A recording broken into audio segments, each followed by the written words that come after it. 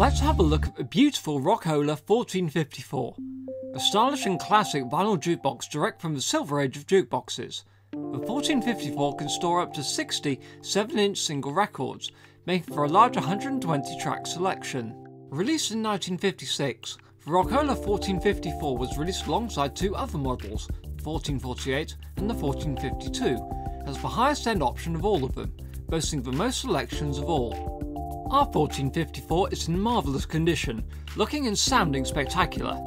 There's minimal wear to the unit apart from some minor pitting on the chrome. Despite this though, the jukebox looks sharp and has a definite presence in our showrooms.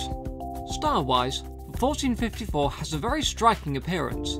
The upper unit presents the main platter in this very brightly coloured and lit staging area, with numerous colours illuminating each surface, the exterior of the jukebox is finished in chrome using a rosewood effect wooden side panel.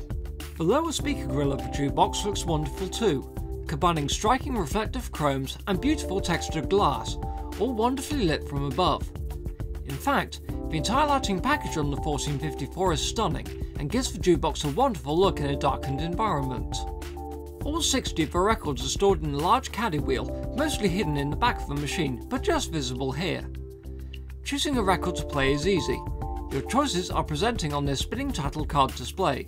Simply choose using the buttons below, then the jukebox will rotate into position to find your chosen record being pulled from the wheel and flipped onto the platter to play.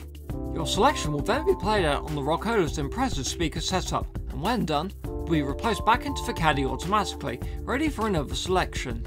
Rock-Ola 1454 is set up here in our Bristol showrooms, ready for you to try out. It's loaded with 60 singles, all ready to play so you can queue up a few songs to hear what the jukebox is capable of. To find out more, see the 1454 in our showrooms or contact the team.